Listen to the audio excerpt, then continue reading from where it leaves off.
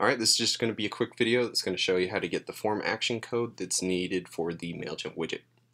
So first start by clicking create a list. So now you have to give your list a name. This account is for a real estate agent, so I'm just going to call it open houses.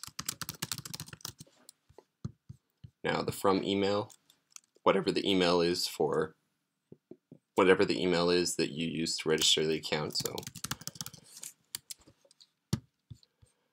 uh, default from name, I'm gonna say Jack.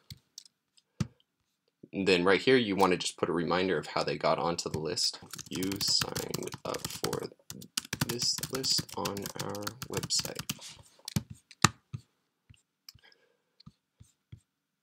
And then click Save. Now we need to create a sign up form, so just go down here, click Create Sign Up Form.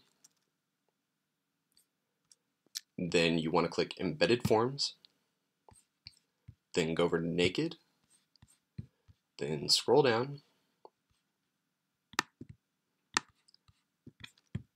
Now we want to grab everything that follows form action. We want to grab everything inside the quotes. So I'm going to click and hold down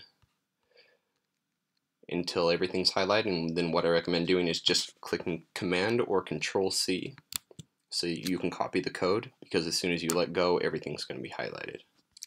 Now all that you need to do is head back over to Adobe Muse. Then go to your form and inside form information under form action code paste the code. And you can do that with command or control V